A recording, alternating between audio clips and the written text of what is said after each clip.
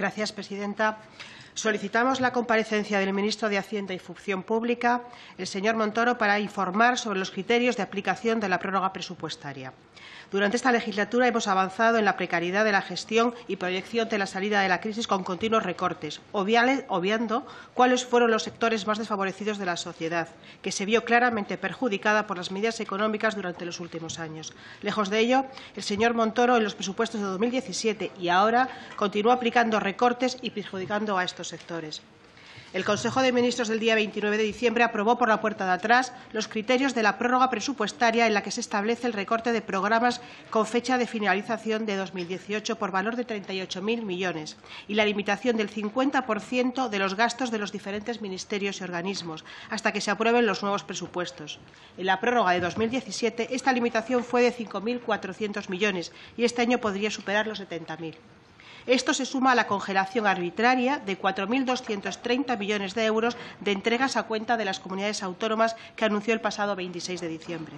Estos recursos públicos no son de Montoro, son de los ciudadanos y ciudadanas de este país y deberían servir para pagar inversiones y servicios públicos fundamentales como la sanidad y la educación. Montoro chantajea a las comunidades autónomas, a la oposición y a toda la ciudadanía, secuestrando los presupuestos y aplicando recortes para conseguir la aprobación de los presupuestos. Esto va a condicionar también los presupuestos de las comunidades autónomas en inversiones públicas, ayudas u otras transferencias corrientes. Desde nuestro grupo parlamentario hemos preguntado en varias ocasiones al ministro Montoro por los efectos de la prórroga presupuestaria. Nunca ha habido respuesta. Estamos asistiendo a una legislatura vacía. No existe capacidad por parte de este Gobierno de atender a las necesidades como las que fueron y fueron publicadas por el informe de Interbonos FAN. Estamos en riesgo de que una generación, la que actualmente tiene 30 años, sea una generación perdida y sin futuro y sin capacidad este Gobierno para cubrir sus necesidades más vitales. Estamos precarizando a nuestros mayores, asistiendo al empobrecimiento de, nuestros pensionistas.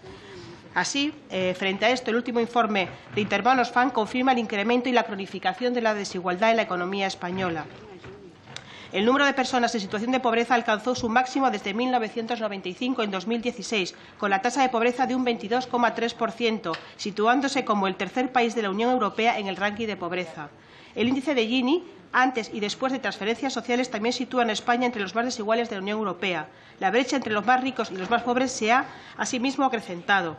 La crisis y la reforma laboral han hecho caer la participación de los salarios en la renta.